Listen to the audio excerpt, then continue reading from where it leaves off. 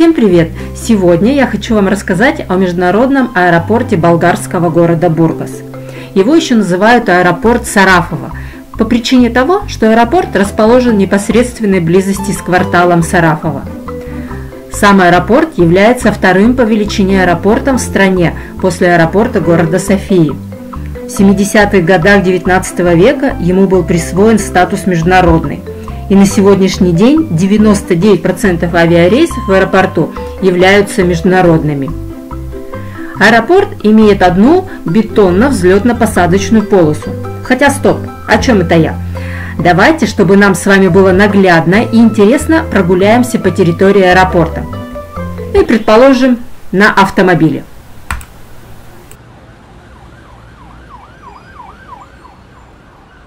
Поехали! Аэропорт расположен на юго-востоке страны, в 10 километров от города Бургаса. Бургас, кстати, четвертый город по величине в Болгарии. При подъезде к аэропорту видны самолеты. Это авиамузей. Он находится на территории аэропорта. Музей был открыт 29 июня 2017 года. В музее 9 авиационных экспонатов. Каждый экспонат в период своей эксплуатации – входил в состав Балканского воздушного парка. Это и Ту-154, и самолеты Ан. Также здесь стоит известный самолет Л-29 по прозвищу «Дельфин», учебный самолет, с которого началась подготовка будущих пилотов реактивных самолетов. Цены входных билетов и описание экспонатов можно узнать на сайте авиамузея. Я оставлю ссылку под видео. Въезд на территорию аэропорта оборудован въездными стойками.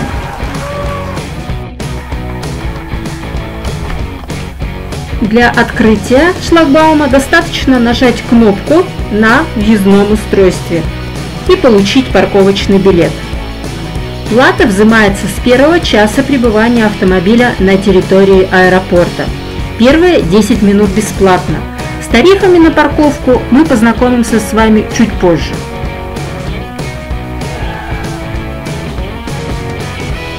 Мы с вами въехали на территорию аэропорта Бургаса и сейчас немного истории. Первый терминал в аэропорту был построен в 50-х годах 19 века. Но развитие туризма и увеличение пассажиропотока послужило толчком к строительству нового терминала. Поэтому в 90-х годах старый терминал, который находится справа сейчас от нас, был реконструирован Новый терминал под номером 2 сейчас является основным зданием аэропорта Бургаса. Его обслуживание взяла на себя немецко-болгарская компания Fraport Twinstar Airport Management, которая вложила большие деньги в развитие аэропортов Бургаса и Варны. Ее программа в IKEA «Мы заботимся» направлена на предоставление высочайшего качества услуг всем пассажирам. Справа от нас автобусная остановка.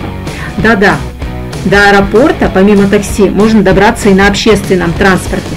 С автовокзала города Бургаса до аэропорта курсирует автобус 15А. Проезд стоит полтора лева.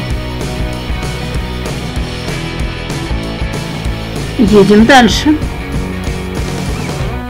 В декабре 2013 закончилось строительство нового терминала с пропускной способностью около 3 миллионов пассажиров в год. Причем терминал 2 был спроектирован таким образом, чтобы при необходимости его можно было расширить еще больше. Внешняя территория аэропорта занимает 550 квадратных метров. Бургас аэропорт состоит из терминала, в котором расположены зоны вылета, прилета, табло рейсов и зал ожидания. Перед зданием аэропорта организована небольшая парковка для транспортных средств. Стоянка перед терминалом запрещена. Здесь можно высадить пассажира и уехать на паркинг. Для людей с ограниченными возможностями выделены обособленные парковочные места с кнопкой вызова ассистента.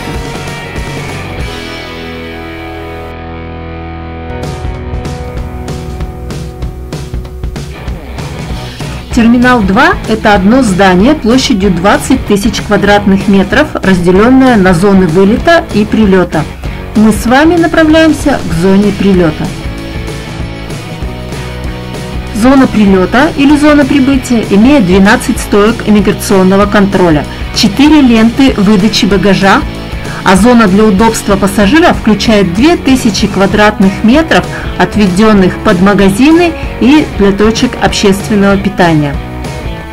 В аэропорту для пассажиров работают магазины, пункт медицинской помощи, обмен валюты, комната матери и ребенка, детская зона и многое другое. Прямо в аэропорту можно заказать такси. О, реклама! Здесь я решила немного разрекламировать свои услуги. С удовольствием встречу вас с табличкой в аэропорту и доставлю до места назначения. Вопросы по стоимости, заказам трансфера можно отправлять в личных сообщениях. Свои контакты я оставлю под видео. Вернемся к более актуальному вопросу, вопросу парковки автомобиля. Первый и ближайший паркинг к зоне прилета находится около кругового движения. Ориентир – экспозиция памятник самолета Ил-19. Парковаться здесь можно вдоль проезжей части, слева и справа, как вы видите на экране. Чаще всего парковка бывает занята. Двигаемся дальше в направлении выезда из аэропорта на парковку номер 2. Напомню, номера парковкам я дала условные. И парковка номер 2, достаточно вместительная, находится справа на ваших экранах. И пока мы двигаемся по направлению к последней третьей парковке, скажу курсы обмена валют на 7 апреля 2020 года. За 1 лев вы можете получить 1 евро 95 центов. То есть курс практически 1 к 2. Справа находится последняя парковка номер 3 при выезде из аэропорта. Оплатить парковку можно в устройствах с оранжевой вставкой, так называемых паркоматах. Цена указана на экране. Заплатить за парковку можно в паркоматах в здании аэропорта и на территории. При выезде из аэропорта на посту охраны принимается оплата в национальной валюте Болгарии в левах. В паркоматах же вы можете заплатить и банковской картой.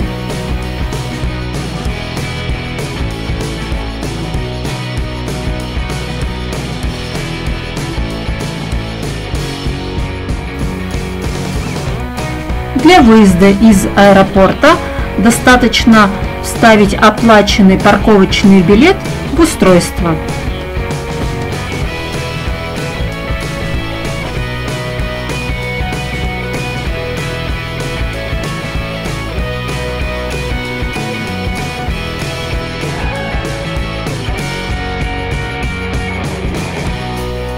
Если вы все же решили добраться до места назначения на общественном транспорте, то остановки автобусов находятся всего в 300 метрах от аэропорта Бургаса на круговом движении. Следующие мои видео будут посвящены курортам южного побережья Болгарии. И начнем мы с вами с Сарафова. Напоминаю, ссылки на сайты и мою личную информацию можно посмотреть в описании под видео.